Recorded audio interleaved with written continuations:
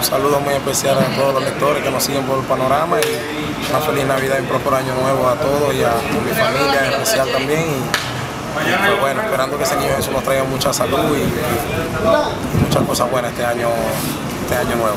Estaré compartiendo con la familia como siempre, compartiendo con mis hijos, mi esposa y, celebrando esta clasificación Espero que este año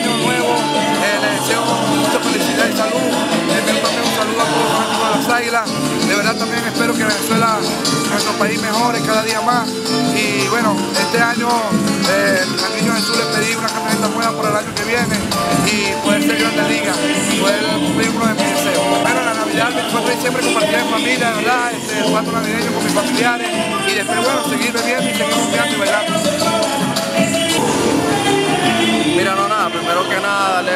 Dios, en verdad que por tener, terminar primero que todo sano la temporada, terminar todo el año sano. Este, la otra que la verdad la situación del país mejore bastante, que todos los ciudadanos este, mejoren en la, ciudad, en la todo el país. Y nada, la, familia, los familias de todos los fanáticos, mis familiares, todo, que estén todo el año sano y que nosotros podamos cumplir el sueño de todos los fanáticos de ser campeón este año.